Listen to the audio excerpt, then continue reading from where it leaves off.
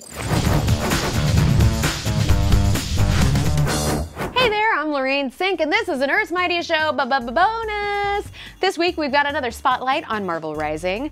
Ghost Spider is coming to the cast of characters in Marvel Rising, and if you haven't guessed yet, that's Gwen Stacy, aka Spider-Gwen's new superhero name.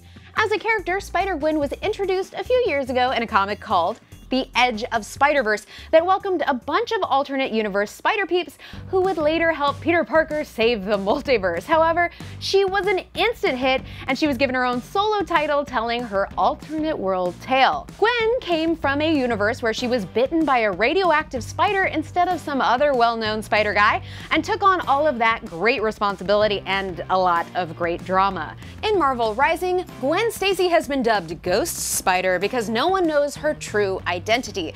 That's the whole point of a costume that covers your face anyway, right?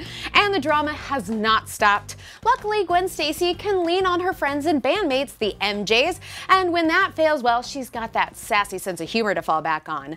Ghost Spider is voiced by the ever-talented Dove Cameron that many will know from Disney's Descendants as well as Marvel's Agents of S.H.I.E.L.D. I'm really looking forward to seeing how Gwen comes together with the Marvel Rising team. So don't miss the introduction of Ghost Spider in the Marvel Rising Initiation animated shorts now on the Marvel HQ YouTube channel.